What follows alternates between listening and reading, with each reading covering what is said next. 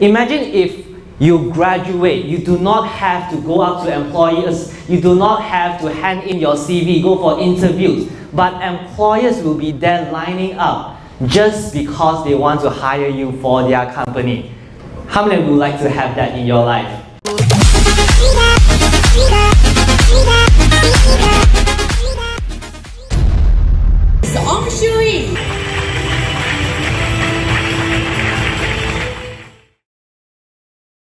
Hello everyone, good morning. Good morning. Love your energy. One more time, good morning everyone. Good morning. First of all, uh, I would like to thank you, Em, for inviting me here today and also um, give yourself a round of applause for being here.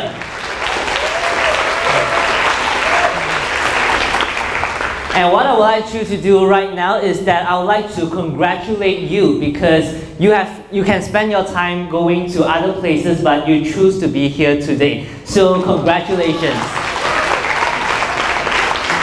And also I would like you to turn to your partner to your left and to your right, give them a high five and say let's have fun today.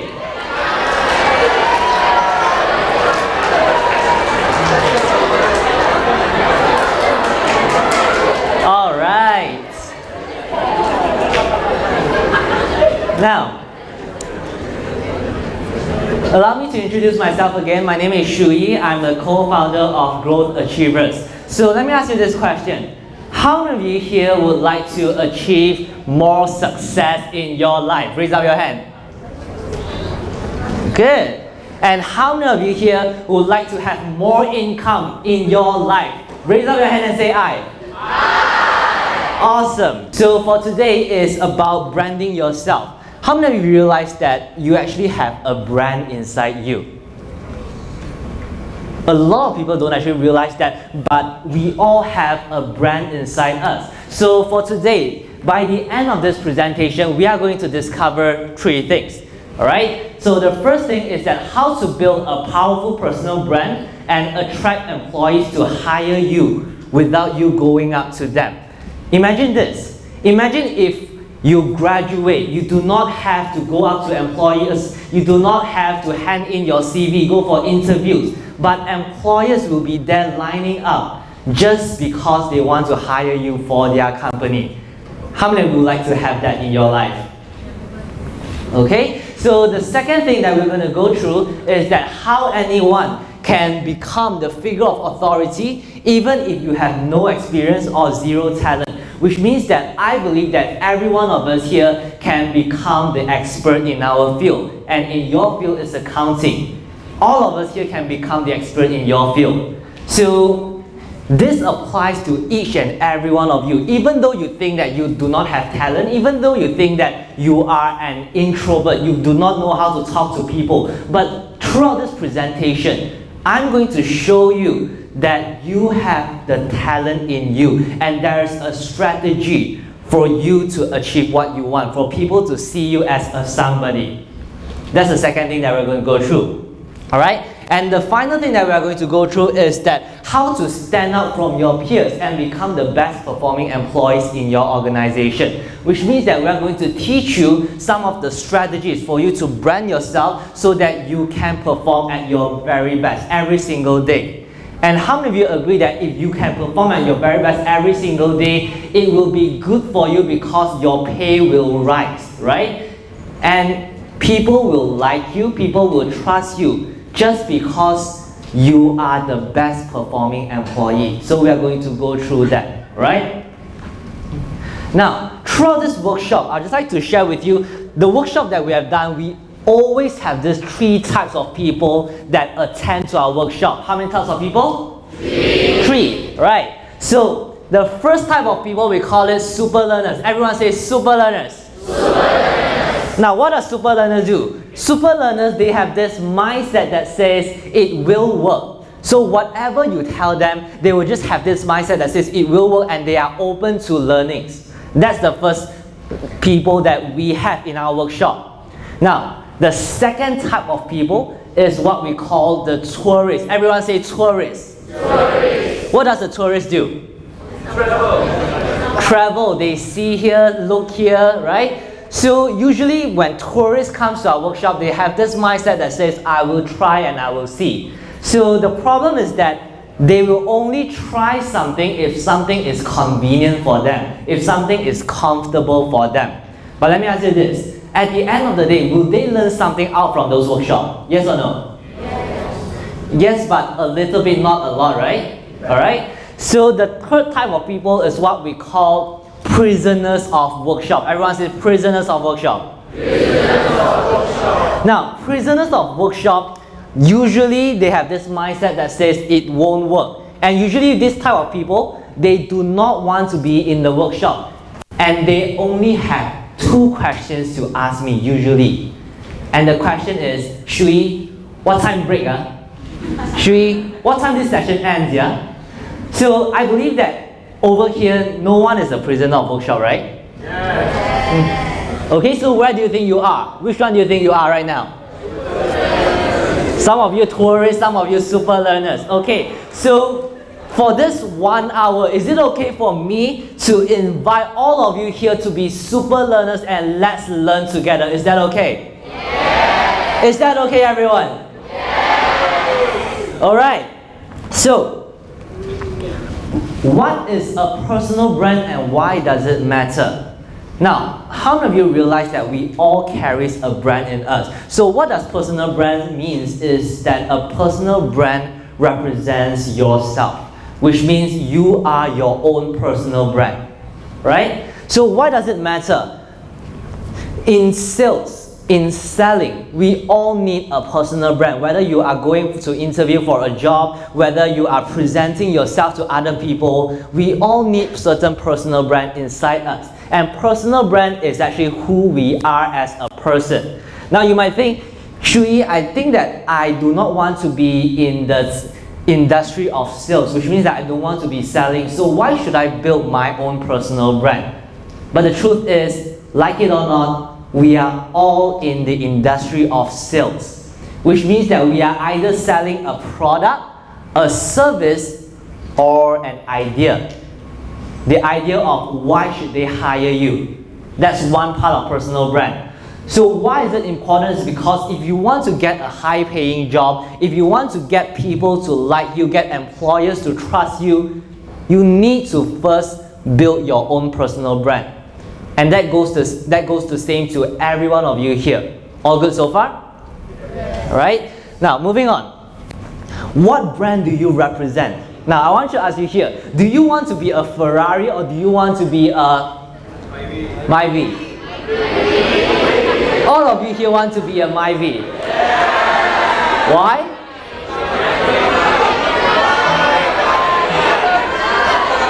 Can fly. Awesome. But let me ask you this.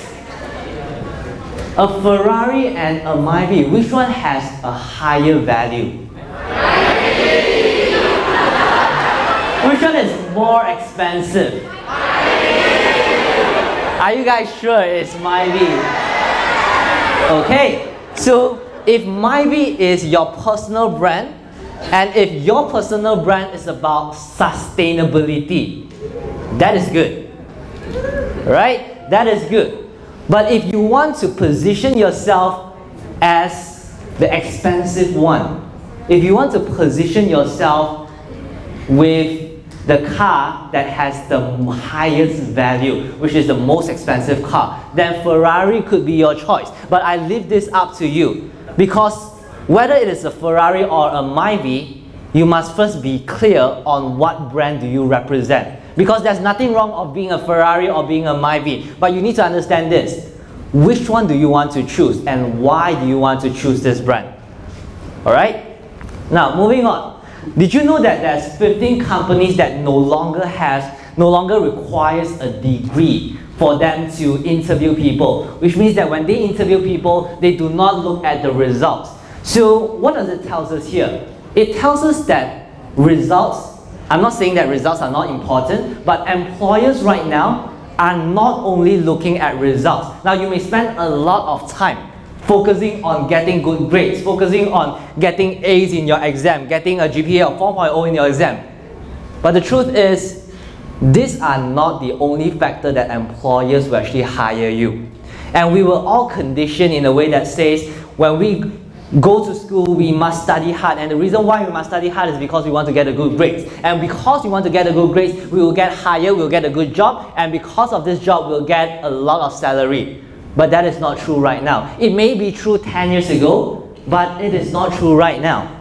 And some of the companies who doesn't really use CV to hire people are big companies like Google, Apple, EY in England, and also Starbucks. They no longer see your results to determine whether you are the good fit for the company. What they look at is actually your personal brand.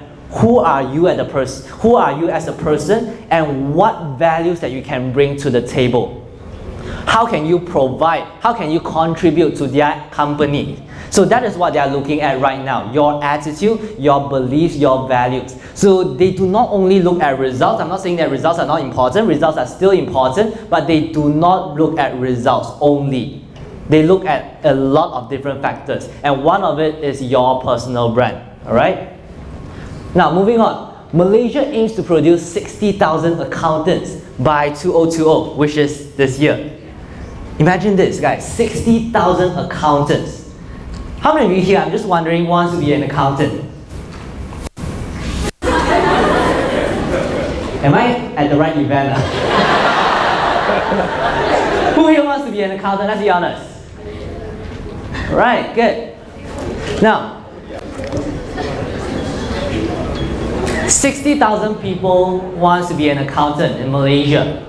Now, if you really think about it, when you graduate, you are actually competing with 60,000 people for a job. How likely you are going to get a job? And my question to you is, what differentiates you from other people who are actually competing for the same job? So here's why building a personal brand is important. You need to understand that in order for you to differentiate yourself from your competitors, from your peers, so that you get a job, is by building your personal brand. Because that will separate you from the rest of your peers. And that will allow employers to look at you and to give you a higher salary. Right and the benefits of personal branding. Number one you will get your employers to know you, to respect you, and to trust you. Because if they don't know you, if they don't respect you, and if they don't trust you, they won't hire you.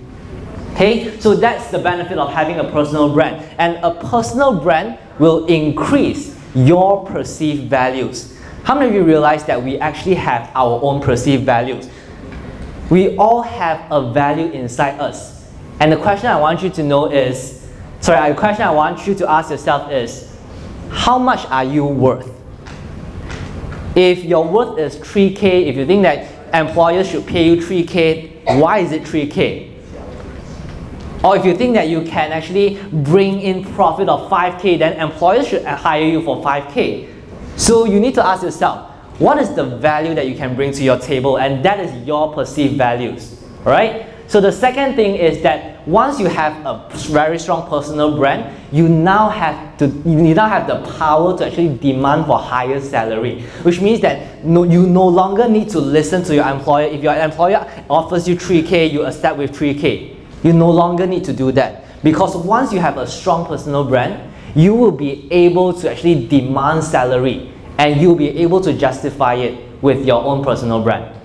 Right? And the third thing is that to grow your network, and once you grow your network, you will attract the ideal opportunities for you in your life. Whether it's to get the promotion that you want, starting a business, or getting a high paying job, all these opportunities will start coming into your life once you are able to build a personal brand. All right? All good so far?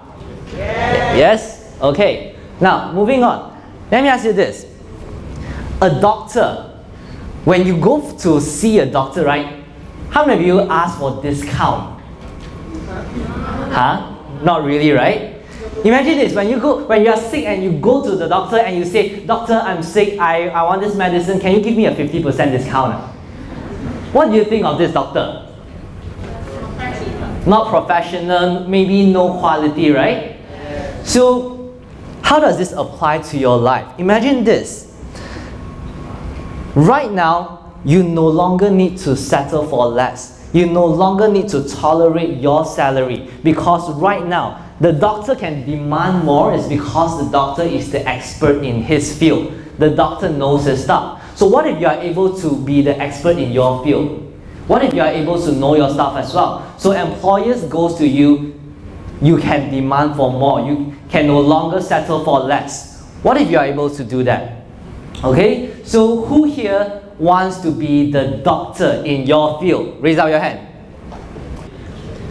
Alright, but guess what? If you want to build your own personal brand, you need to talk to people.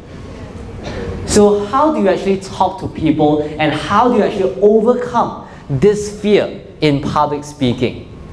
Hmm. Now, here's something that I want to share with you. No one will ever celebrate you, respect you, or trust you when you are a nobody. Which means that the first step that you need to do is that you must first see yourself as a somebody. Now you may ask me, Shu Yi, right now I'm a nobody. How can I actually see myself as a somebody? But the truth is, you just need to believe that you are actually a somebody. When I first started speaking on stage, I was a nobody. I had this belief I stand up on stage, I'm a nobody. Who, want, who would want to listen to me? But guess what? There are people who wants to listen to you. But the first thing is that you must first see yourself as a somebody and you must first know that you have something to share that people would want to learn from. That's the first step. Now, moving on. How do you present yourself is very important for your personal brand. Because how people actually look at you will determine whether they want to do business with you, will determine whether they like you, or will determine whether they want to hire you. So you need to understand how do you actually present yourself in front of public every single day. Okay? And I'm going to share with you two strategies for you to overcome all your fears in public speaking in just two minutes. Two minutes. Who would like to learn that? So the first strategy is that you need to up your energy. Everyone says up your energy. Up your energy. Now, up your energy means that every time you meet people, you need to have a high energy. But most people, we are conditioned to act in low energy. But let me ask you this. You see successful people, Steve Jobs, Richard Branson, Tony Fernandes, do they have high energy or low energy? But do you, know, do you guys know why most people have low energy? You see, the reason is because since young, we are conditioned to do this. You see, when the recess bells ring, recess is over, go back to class. What are you supposed to do? You are supposed to go back to class and what? And do what? Talk to your friends? You are supposed to go back to your class and sit down and then shut up, right? Are, you are conditioned to be quiet every single time. And imagine this. If someone goes up to you and asks you how your day is, and if you reply like this, my day is very normal, very boring, and things are just like that lor. And people will go like, I understand, I can feel you.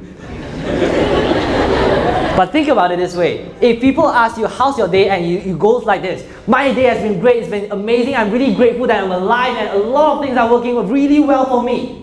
What do you think that person will think of you? Crazy fella. Right? But the truth is, is it wrong for you to be high energy? But why is it so that we all have low energy? It's because we want to gain acceptance. It's because we don't want to be different. That's why since young, we all have low energy. Even in lectures, why do you fall asleep in lectures? By the way, how many of you fall asleep in lecture? Why? It's because learning is not like this. Learning is not just about sitting down. So Right now, I'm going to teach you how you are able to create more energy inside you so that you'll be able to be more confident and you'll be able to attract more people. Do you want to learn this? Yes. Okay, so the second thing that you need to understand is your emotional state. Everyone say emotional state. Emotional state. Right. Now imagine this, if every single day of your life you are able to be more focused, more determined, more confident, do you think you'll be able to achieve much more in your life?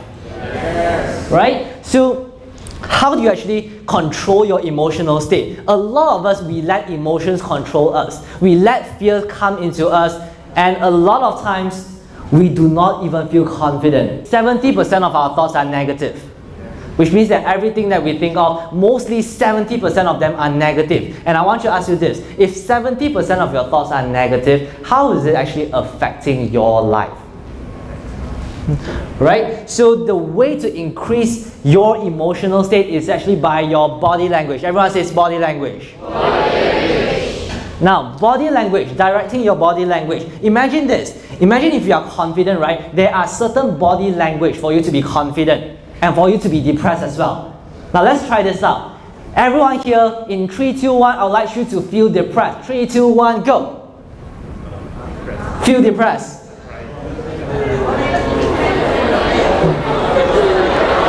Alright, now in 3, 2, 1, I want you to feel confident. Go. Alright, now let me ask you this.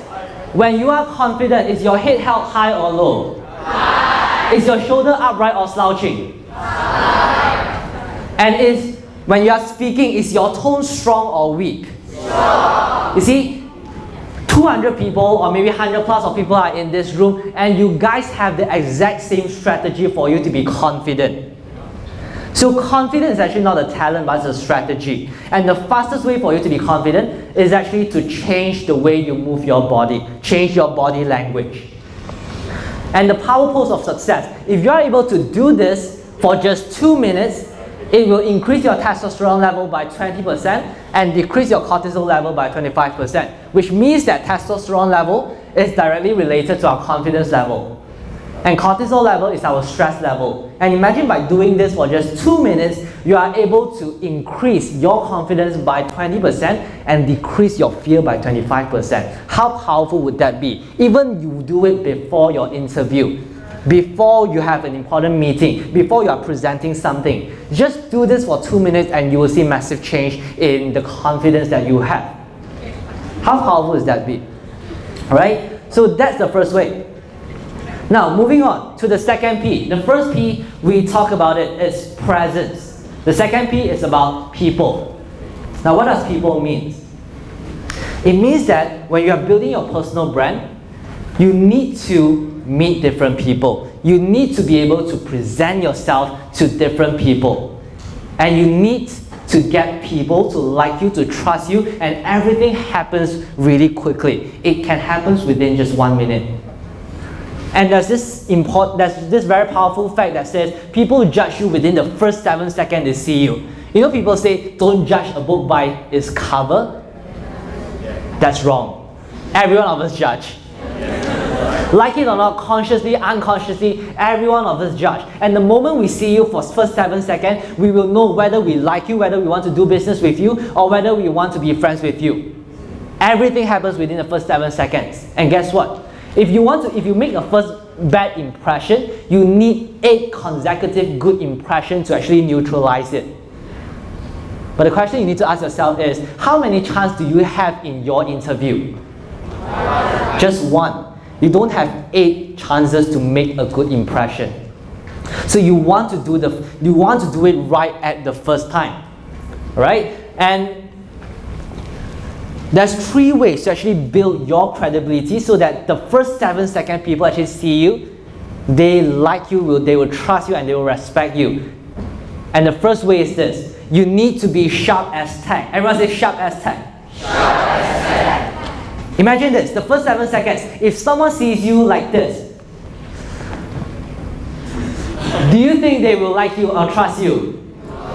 So the first seven seconds, you need to be as confident as possible. And when you meet them, give them a firm handshake. And you guys just learn the strategy on how to be confident, right?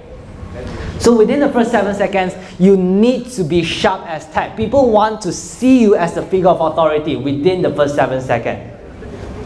Now, the second way for you to build trust with people is to create points of familiarity. Everyone says points of familiarity. Points of familiarity. Which means that people like people who are like themselves. You are now friends with the person beside you is because there's some way the fr your friends looks like you or behave like you or think like you. That's why you are friends with them. So in order for you to build trust with people is to create point of familiarity, which means that you need to create common topic for you guys to talk to. If that person that you talk to love football, then you talk more about football. If they love traveling, then you talk more about traveling. But the key is you need to know how to actually match that person's interest. You need to find out that person's interest and you need to talk based on that person's interest. Right? That's the second point. And the third point is that you need to make micro promises. Everyone says micro promises. Now, what does micro promises mean? It means that when you talk to people, you can actually make little promises to make a good first impression.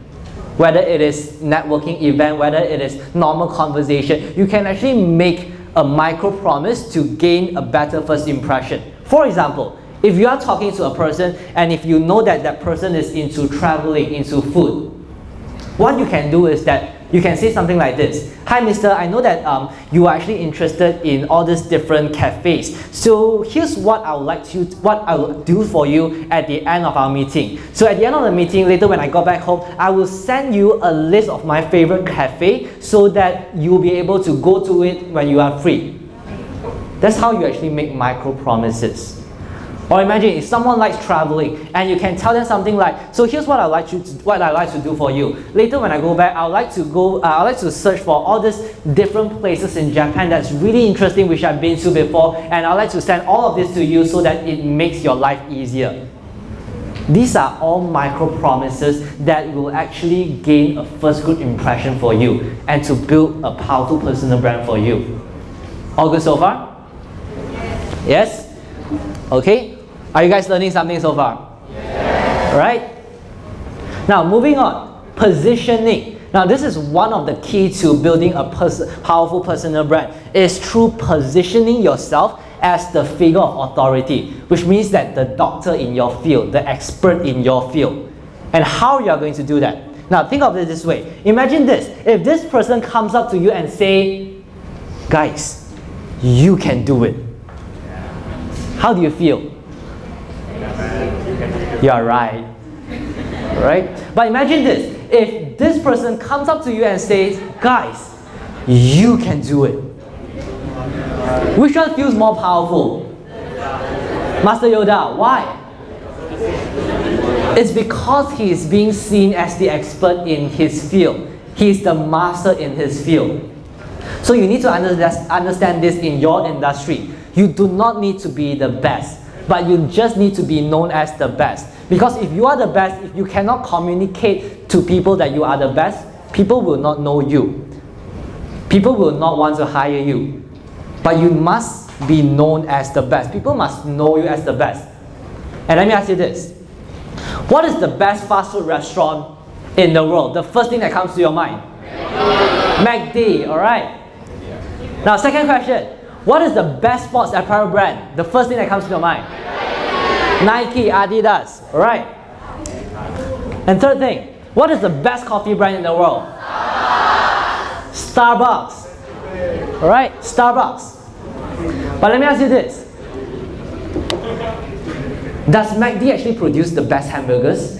Are their burgers better than McD? Cheaper than McD? Ramly Burger. Right. And Starbucks. Are there coffee that is way better, way cheaper than Starbucks? Yes. Then why is it that when we say the best brand, all these brands actually comes up to your mind? It's because of branding. And even though they are not the best, but they are being known as the best. People know them as the best. So my question to you is, when you talk about all this, all these brands comes up to your mind. But what about you yourself? What do you want to be remembered for? When people say your name, what is the first thing that comes up to people's mind? You need to identify that. Because once you are able to identify that, the moment people say, I want the best accountant, then your name comes up to your mind. I mean, comes up to their mind. Or when people say, I want the best audit person, and your name comes up to their mind. So you need to identify how do you actually position yourself as being the best in your field. All good so far? Alright, now moving on. You need to become the figure of authority. And one of the way for you to be known as the doctor in your field is actually by creating content. A lot of us here, we consume content. We consume content every single day on YouTube, on Instagram. We watch all this different content. But if you want to be the expert in your field, you must be the one producing the content. You, want, you must be the one writing all these blog posts. Stop reading other people's blog posts. Because when you read other people's blog posts, you think that they are the expert. But what if you become an author yourself? And by the way, author comes from the word authority, which means that when you're actually writing something, sharing your point of view, you are having authority. People will see that you know your stuff. Okay? So one of the most powerful way to build your brand is actually through LinkedIn. How many of you here know what LinkedIn is? Alright? How many of you here has a LinkedIn account? Okay, not many, but I want to share with you that the most powerful platform for you to build your personal brand is through LinkedIn. Because LinkedIn is the new Facebook for business and it's the digital CV that can gets you a job. Everyone who's in business, every employers, they are looking for candidates to hire on LinkedIn. So if you really want to secure a job, even before you graduate, build up your LinkedIn profile. Now, this was a post that I actually posted up on LinkedIn um, just last year when I graduated. And imagine this, this post actually generated me 16,000 views. 16,000. Now just think about it this way. If only 1% of the employers are interested in you, 162 employees are actually interested in you, wanting to hire you for their company. This is how you actually create demand for yourself. And once you're able to create demand for yourself, you are now able to demand for more. You are now able to ask for a higher salary because everyone wants you. And how you do it is by building your personal brand. And there's a few ways for you to create content, whether it's on Facebook, whether it's on LinkedIn. But what I found which is most effective, which is to create content on LinkedIn. And for those of you who have no idea what LinkedIn is all about, go Google it up. And just to share with you some of the content that you can create on LinkedIn. The first one is that you can actually write an article on LinkedIn. And the second one is actually you can produce a video on LinkedIn. And the second one, the third one is that you can actually write a post on LinkedIn and attach a picture to it. And the fourth one is actually to share external content. Share content written by other people. But you need to make sure this. When you share other content, you need to make sure that you write something. Uh, because you don't want to share that content without writing anything. Because that makes no difference. Alright? So these are some of the ways for you to produce content on LinkedIn. But now you may tell me, Shu Yi, producing content on LinkedIn, I do not know what to write, I do not know how to shoot videos, but guess what? You don't need to do all this. The simplest way for you to create content is actually document, not create. Everyone says document. document. What, I, what do I mean by document content? Which means that all the activities that you actually go through in your life, start journalizing, journaling all this experience that you have. For example, you can share about what you have learned in class today. You can share about what you have learned throughout all these events that you have participated. Share some of the learning points and create value. These do not need, you not, do not need to produce all this content by, uh, by thinking about it, but all these contents actually are experiences in your life. And whenever you go through certain experience, share a picture of it. For example, right now, you can actually share a picture of you attending this workshop and share some of the key lessons that you have learned from this workshop. And when you're able to do that, you'll be able to create value for other people and people will start realizing you. People will start noticing you. And guess what? When you become the author in your field, you now have the authority. Right? Mm. So how do you decide which restaurant to go to when you have an important event? What do you think? For example, when your friend's birthday, how do you know which restaurant to go to?